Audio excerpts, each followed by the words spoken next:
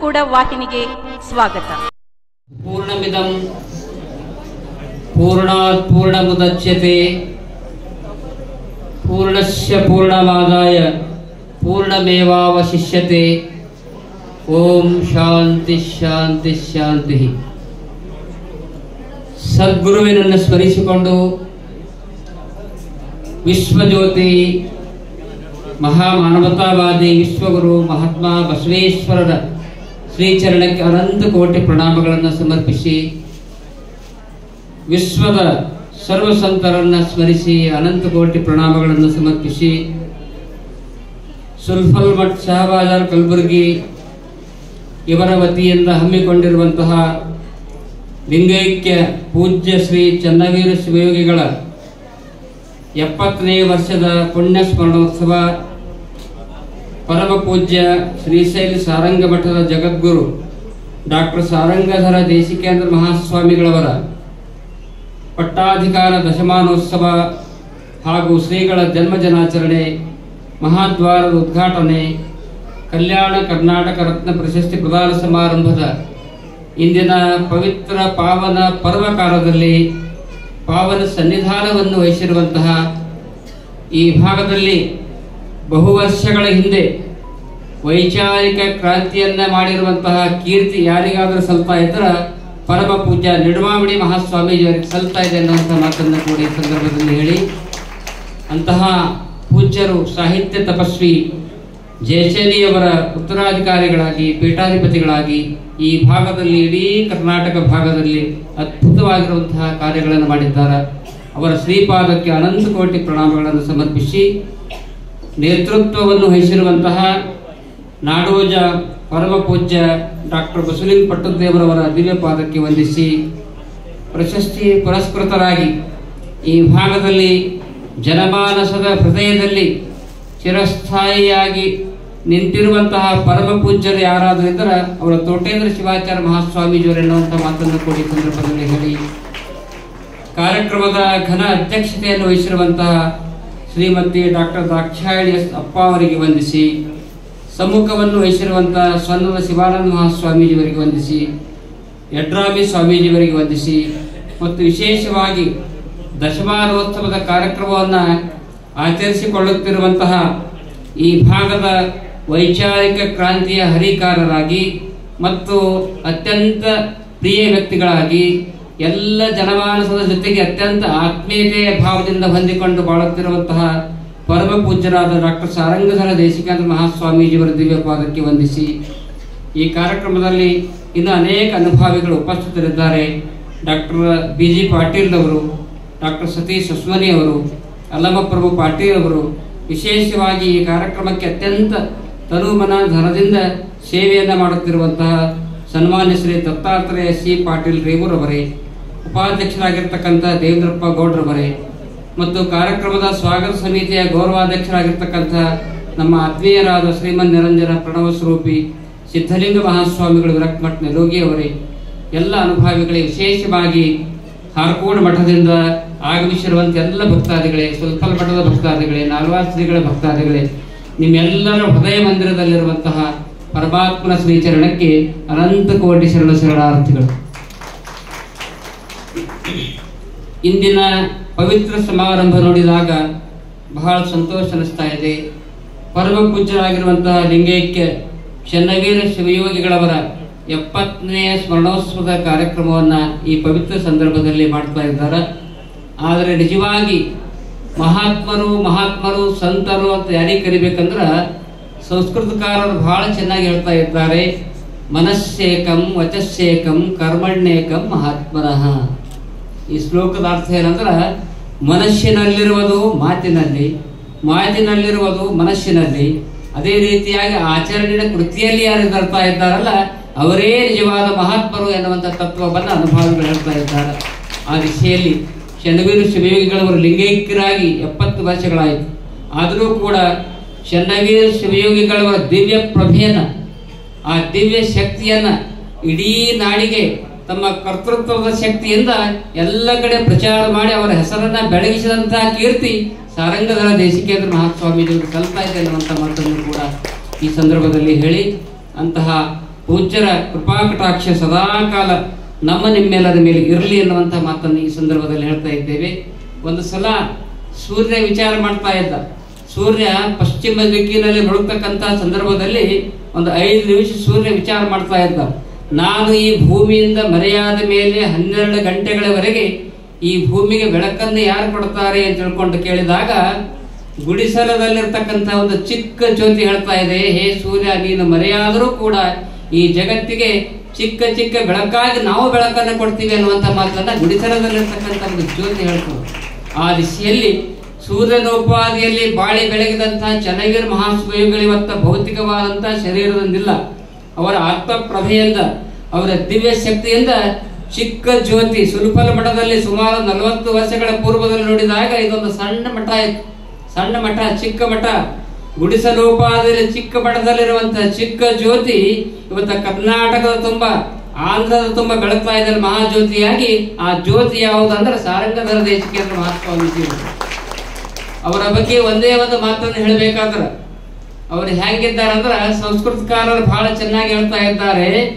ವಜ್ರಾದಪಿ ಕಠೋರಾಣಿ ಮೃದುನಿ ಕುಸುಮಾದಪಿ ಲೋಕೋತ್ತರಾಣಂ ಚೇತಾಂಶಿ ಕೋಹಿ ವಿಜ್ಞಾತು ಅರ್ಹತಿ. ಇದರ ಅರ್ಥ ಏನಂದ್ರ ಮಹಾತ್ಮರು, ಸಂತರು, ಅನುಭಾವಿಗಳು, ದಿವ್ಯಜ್ಞಾನಿಗಳು ಹೆಂಗಿರ್ತಾರಂದ್ರ ಕಠಿಣ ಪ್ರಸಂಗ ಬಂದಾಗ. ಈಗ ನೋಡ್ರಿ ಸ್ವಲ್ಪ ಲಪ್ಪಗಳು ನೀವೆಲ್ಲ ನೋಡಿದ್ರೆ ಬಹಳ ಜನ ಸ್ವಾಮಿಗಳು ಇದ್ದೇವೆ ನಾವು. ಆದ್ರೆ ಹೋರಾಟದ ಸಂದರ್ಭ ಬಂದಾಗ ಅವ್ರು ಹೆಂಗಾಗ್ತಾರ ಅಂದ್ರೆ ವಜ್ರಕ್ಕಿಂತಲೇ ಕಠಿಣ ಆಗ್ತಾರೆ. ಹೋರಾಟ ಮಾಡ್ಲಕ್ಕ ನಡೆಯರ ಅವ್ರ ಮನಸ್ಸು ಹ್ಯಾಂಗದ ಅಂದ್ರ ಹೂವಿಗಿಂತಲೂ ಮೃದು ಅದು, ಹೂವಿಗಿಂತಲೂ ಮೃದು. ಗುಲಾಬಿ ಹೂವಿನಂತ ಮನಸ್ಸನ್ನ ಮಗನಂತ ಮನಸ್ಸುಳ್ಳವಂತ ಚಿಕ್ಕ ಮಗುವಿನಂತೆ ಮನಸ್ಸುಳ್ಳಂತ ಪೂಜ್ಯರ ಸಾಲಿನಲ್ಲಿ ಯಾರು ಸೇರ್ತಾ ಇದ್ರು ಅಂದ್ರ ಸಾರಂಗಧರ ಜಗದ್ಗುರು ಮಹಾಸ್ವಾಮಿ ಸ್ವಾಮೀಜಿ ಅವರು ಸೇರ್ತಾ ಇದ್ದಾರೆ ಅನ್ನುವಂತ ಮಾತನ್ನು ಕೂಡ ಈ ಪವಿತ್ರ ಸಂದರ್ಭದಲ್ಲಿ ಹೇಳ್ತಾ ಇದ್ದೇವೆ. ಇಂತಹ ಸಂದರ್ಭದಲ್ಲಿ ನಮ್ಮನ್ನ ಬರಮಾಡಿಕೊಂಡು ಕಲ್ಯಾಣ ಕರ್ನಾಟಕ ರತ್ನ ಎನ್ನುವಂತ ಪ್ರಶಸ್ತಿಯನ್ನ ಪೂಜ್ಯ ನಾಲ್ವಾರು ಮಹಾಸ್ವಾಮೀಜಿ ಅವರಿಗೆ ನಮ್ಗ ಕೊಟ್ಟಿದ್ದ ಆ ಪ್ರಶಸ್ತಿ ಹೆಂಗಂದ್ರ ಅನುಭಾವಿಗಳು ಹೇಳ್ತಾ ಇದ್ದಾರೆ ಬಯಸಿ ಬಂದದ್ದು ಅಂಗಭೋಗ, ಬಯಸದೇ ಬಂದದ್ದು ಲಿಂಗಭೋಗ. ಬಯಸಲಾರದೆ, ನಾವೇನು ಅಪೇಕ್ಷೆ ಪಡಲಾರದೆ, ಅದು ಹೆಂಗೆ ಇವತ್ತು ಪ್ರಶಸ್ತಿ ಬಂದದಂದ್ರೆ ನಿಜವಾಗಿ ಕಲ್ಯಾಣ ಕರ್ನಾಟಕ ರತ್ನ ಎನ್ನುವಂಥ ಪ್ರಶಸ್ತಿ, ಇದು ಸಾಮಾನ್ಯವಾಗಿರುವಂತಹ ಪ್ರಶಸ್ತಿ ಅಲ್ಲ, ಶ್ರೀಶೈಲ ಮಲ್ಲಿಕಾರ್ಜುನನ ಆಶೀರ್ವಾದವೇ ನಮಗೆ ಕೊಟ್ಟಿದ್ದಾರೆ ಎನ್ನುವಂತ ಮಾತನ್ನು ಈ ಸಂದರ್ಭದಲ್ಲಿ ಹೇಳ್ತಾ ಇದ್ದೇವೆ ಯಾಕೆಂದ್ರೆ ಸಂಸ್ಕೃತಕಾರರು ಬಹಳ ಚೆನ್ನಾಗಿ ಹೇಳ್ತಾ ಇದ್ದಾರೆ. ಅಮೃತಂ ಶಿಶ್ರೇವನಿಹಿ, ಅಮೃತಂ ಬಾಲಭಾಷಣಂ, ಅಮೃತಂ ಸ್ವಪ್ರಿಯಾ ಭಾರ್ಯ ಅಮೃತಂ ಸ್ವಾಮಿ ಗೌರವಂ ಅಮೃತಂ ಸ್ವಾಮಿ ಗೌರವಂ ಈ ಶ್ಲೋಕದ ಅರ್ಥ ಏನಂದ್ರ, ಅಮೃತಂ ಶಿಶಿರೇವನಿಹಿ. ಡಿಸೆಂಬರ್ ತಿಂಗಳು ಬಂತಂದ್ರ ಬೆಂಕಿ ನಮಗೆ ಅಮೃತಕ್ಕೆ ಸಮಾನವಾಗಿ ಕಾಣ್ತಾ ಇದೆ. ಅಮೃತಂ ಬಾಲ ಭಾಷಣಂ ತೊದಲುಡಿ ಆಡ್ತಕ್ಕಂಥ ಎರಡು ವರ್ಷದ, ಒಂದು ವರ್ಷದ ಮಕ್ಕಳು ಅವ್ರು ಆಡ್ತಕ್ಕಂಥ ಮಾತು ನಮಗೆ ಅಮೃತವಾಗಿ ಕಾಣ್ತಾ ಇದೆ. ಮೂರನೇದಾಗಿ ಹೇಳ್ತಾ ಇದ್ದಾರೆ ಅಮೃತಂ ಸ್ವಪ್ರಿಯಾ ಭಾರ್ಯ ನಿಮಗೆ ನಿಮ್ಮ ಧರ್ಮಪತ್ನಿ ಪ್ರಿಯವಾಗಿರುವಂತಹ ನಿಮ್ಮ ಧರ್ಮಪತ್ನಿ ನಿಮಗೆ ಹೆಂಗೆ ಕಾಣ್ತಾಳೆ ಅಂದ್ರೆ ಅಮೃತಕ್ಕೆ ಸಮಾನವಾಗಿ ಕಾಣ್ತಾ ಇದ್ದಾಳೆ. ಕೊನೆಯದಾಗಿ ಹೇಳ್ತಾ ಇದ್ದಾರೆ, ಅಮೃತಂ ಸ್ವಾಮಿ ಗೌರವಂ.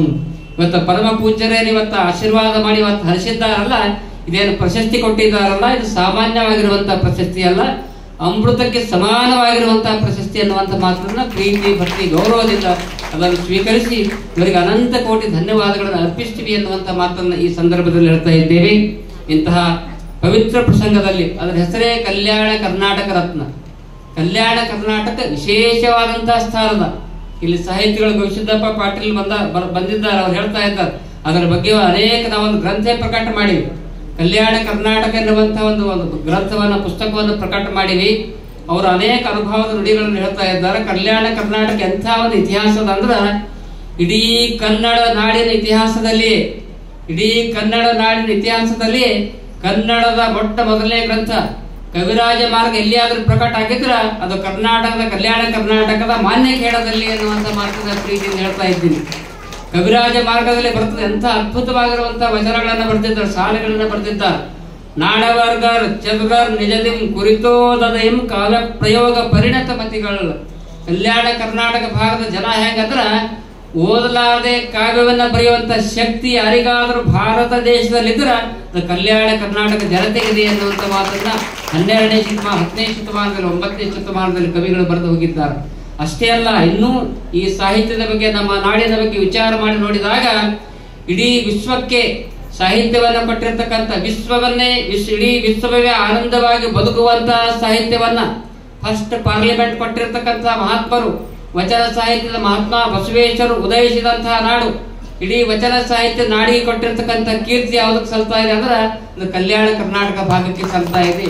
ದಾಸ ಸಾಹಿತ್ಯ ಇರ್ಬೋದು ಸರ್ವಜ್ಞರ ವಚನ ಸಾಹಿತ್ಯ ಇರ್ಬೋದು, ಇಡೀ ಸಾಹಿತ್ಯವನ್ನು, ಇಡೀ ಜಗತ್ತಿಗೆ ಶ್ರೇಷ್ಠವಾಗಿರುವಂತಹ ಸಾಹಿತ್ಯವನ್ನು ಕೊಟ್ಟಿರುವಂತಹ ನಾಡು ಕಲ್ಯಾಣ ಕರ್ನಾಟಕ ಎನ್ನುವಂತ ಮಾತನ್ನ ಈ ಸಂದರ್ಭದಲ್ಲಿ ಹೇಳಿ, ಅಂತಹ ಪ್ರಶಸ್ತಿಯನ್ನ ಪೂಜ್ಯರು ನಮಗೆ ದಯಪಾಲಿಸಿದ್ದಾರೆ. ಆ ಪ್ರಶಸ್ತಿ ಸ್ವೀಕರಿಸಿಕೊಂಡು ಹಾಗೆ ಕೂಡುವುದಲ್ಲ, ಇನ್ನೂ ಹೆಚ್ಚಿನ ಸೇವೆ ಮಾಡುವಂತ ಜೀವನದ ಕೊನೆಯ ಉಸಿರಿನವರೆಗೂ ಕೂಡ ಎಲ್ಲ ನಾಡಿನ ಸೇವೆ ಮಾಡ್ತೀವಿ ಅನ್ನುವಂಥ ಮಾತನ್ನು ಕೂಡ ಈ ಸಂದರ್ಭದಲ್ಲಿ ಹೇಳಿ, ಇಂಥ ಪವಿತ್ರ ಸಂದರ್ಭದಲ್ಲಿ ತಾವೆಲ್ಲರೂ ಕೂಡ ಗುರುಗಳ ಮೇಲೆ ಭಕ್ತಿ, ಶ್ರದ್ಧೆ, ವಿಶ್ವಾಸವನ್ನುಟ್ಟು ತಾವೆಲ್ಲರೂ ಕೂಡ ಬಂದಿದ್ದೀರಿ. ಅನುಭಾವಿಗಳು ಒಂದು ಮಾತನ್ನು ಹೇಳ್ತಾ ಇದ್ದಾರೆ. ಒಂದು ಕೋಟಿ ಒಂದು ಕೋಟಿ ವರ್ಷ ನೀವೆಲ್ಲರೂ ಕೂಡ ಯೋಗ ಸಾಧನೆಯನ್ನ ಮಾಡಿದ್ರು ಕೂಡ ಒಂದು ಸಲ ಗುರುಲಿಂಗ ಜಂಗಮನ ಧ್ಯಾನ ಮಾಡಿದ್ರೆ ಅದಕ್ಕಿಂತ ಮಿಗಿಲು ಎನ್ನುವಂತ ಮಾತನ್ನ ಅನ್ನಮಕ್ಕಳು ಮಾತನ್ನು ಹೇಳ್ತಾ ಇದ್ದಾರೆ ಕೋಟಿ ಜಪಾನಿ ಮಾಡಬಹುದು, ಕೋಟಿ ಸಾಧನೆ ಮಾಡಬಹುದು.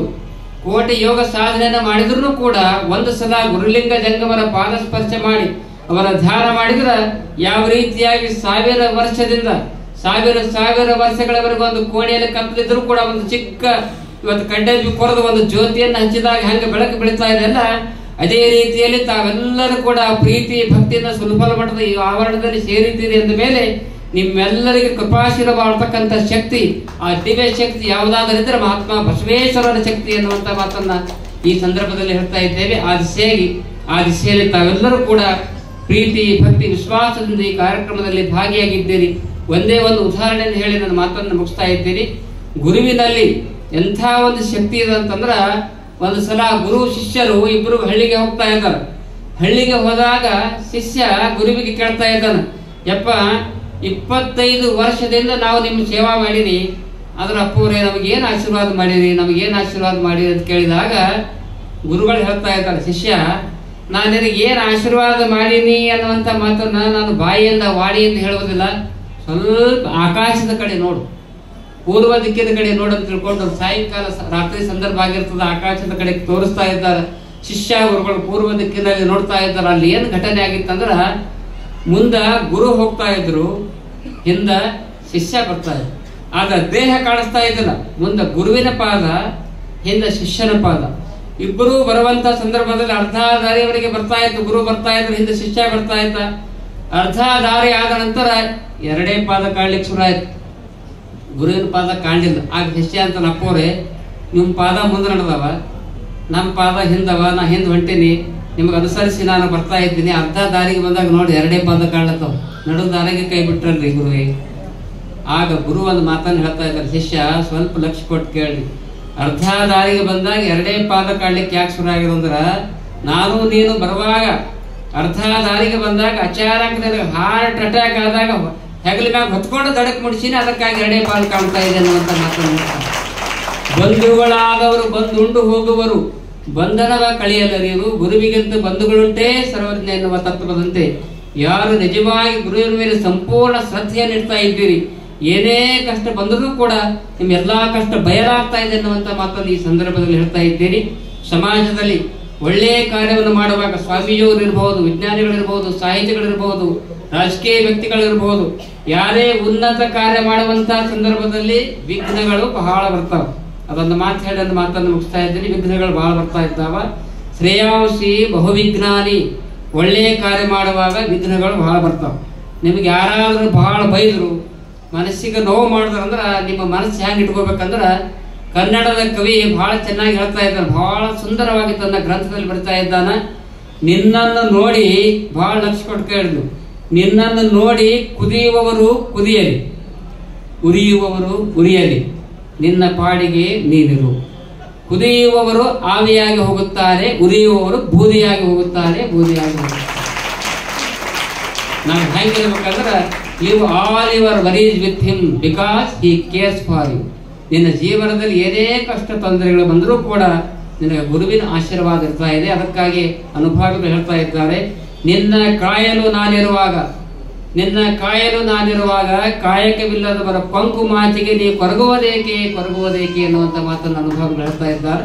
ಆ ದಿಶೆಯಲ್ಲಿ ಏನೇ ಕಷ್ಟ ಬಂದರೂ ಕೂಡ ಗುರುವಿನ ಮೇಲೆ ಶ್ರದ್ಧೆ, ಭಕ್ತಿಯನ್ನಿಟ್ಟು ನಡ್ಕೊಂಡಾಗ ಮಾತ್ರ ನಮ್ಮೆಲ್ಲರ ಜೀವನ ಸಾರ್ಥಕತೆ ಆಗ್ತಾ ಇದೆ ಅನ್ನುವಂಥ ಮಾತನ್ನು ಈ ಪವಿತ್ರ ಸಂದರ್ಭದಲ್ಲಿ ಹೇಳಿ. ಪೂಜ್ಯರು ಅದ್ಭುತವಾಗಿರುವಂತಹ ಕಾರ್ಯವನ್ನು ಶ್ರೀಮಠದಿಂದ ಮಾಡಿದ್ದಾರೆ. ಸಾಹಿತ್ಯಿಕವಾಗಿ, ಶೈಕ್ಷಣಿಕವಾಗಿ, ಧಾರ್ಮಿಕವಾಗಿ ಅನೇಕ ರೀತಿಯಲ್ಲಿ ಸೇವೆಯನ್ನು ಸಲ್ಲಿಸಿದ್ದಾರೆ. ಅವರಿಗೆ ಇವತ್ತು ದಶಮಾನೋತ್ಸವದ ಕಾರ್ಯಕ್ರಮ ಇದೆ ಇನ್ನೂ ಹೆಚ್ಚಿನ ಆಯುಷ್ಯ, ಆರೋಗ್ಯ ಮಹಾತ್ಮ ಬಸವೇಶ್ವರರು ಪಟ್ಟು ಕಾಪಾಡಲೆಂದು ಶುಭ ಹಾರೈಸಿ ಎರಡು ಮಾತುಗಳನ್ನು ಮುಗಿಸ್ತಾ ಇದ್ದೀನಿ.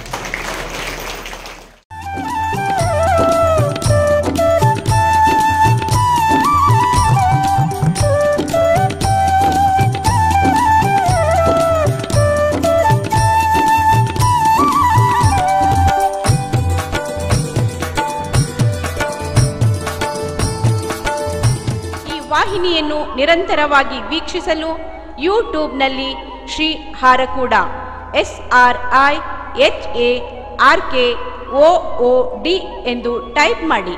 ನಮ್ಮ ಈ ಚಾನೆಲ್ಗೆ ಸಬ್ಸ್ಕ್ರೈಬ್ ಮಾಡಿ, ಬೆಲ್ಲನ್ನು ಒತ್ತಿರಿ.